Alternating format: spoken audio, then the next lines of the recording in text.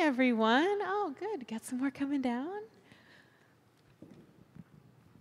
Well, I have some trivia for you today. You, you know how much I love trivia, especially if you're if you go to youth group. We do trivia every time. I have some trivia for you. I would like to read to you a few things.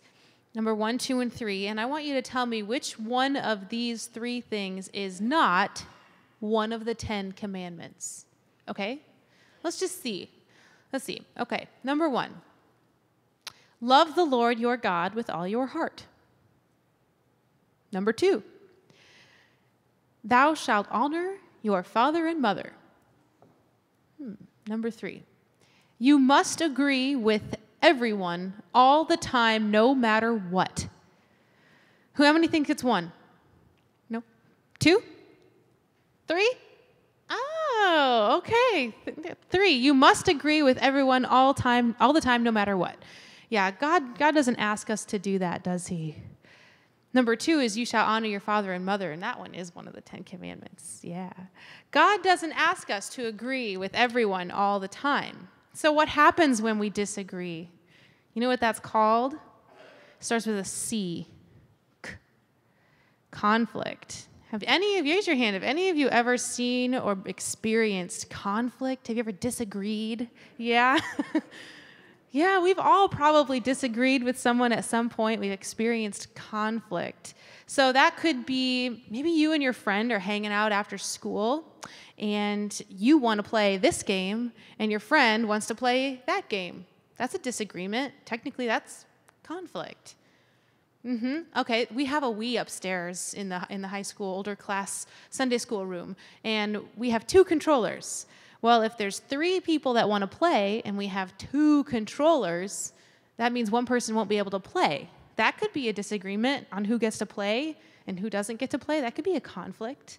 Well, how many of you just, how, do you love conflict? Do you love disagreeing? yeah, it's not really, not really fun, is it? So there's some ways, there's some ways that we are taught to handle conflict. So there's three things that I want you to remember. Oops, nope. There's, one, there's three things that I'm going to tell you, and one of these is one way that God asks us to respond to conflict. So I'm going to list three things. You tell me which one God wants us to do, okay?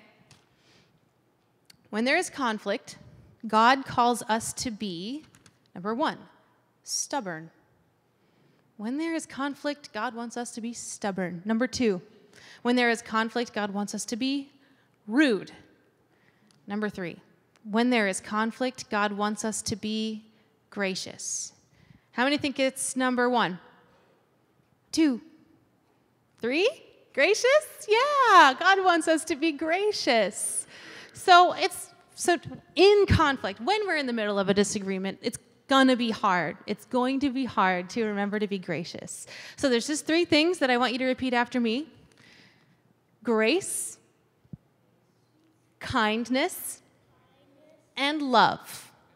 Those are three things that we can put in our disagreements and in our conflicts. Can we say them all together? Grace, kindness, and love. Ready? Go. Grace, kindness, and love.